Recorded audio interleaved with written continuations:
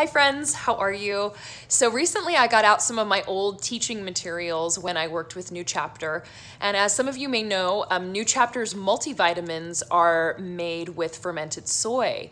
So um, I used to have to differentiate our the New Chapter multivitamins from the rest of the competition and how I did that was I would talk about how wonderful fermented soy was. And so then I learned all of the benefits of fermented soy as miso soup, natto, uh, tempeh. And so this was something that I had gotten off of my miso soup like jar and it says miso soup consumption linked with up to 50% reduced risk of breast cancer.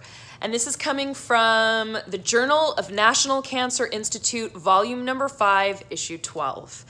So, for those of you who maybe have run the risk of breast cancer in your family or know somebody who does, and you just want to protect yourself, this is a great way. Miso soup although you know it's summertime and we're not eating soup um, we can use it as a marinade as a base for salad dressings. Just start incorporating miso in all these different ways um, in your food. So i wanted to let you know about that really quick and i hope you have a wonderful day. Thanks you guys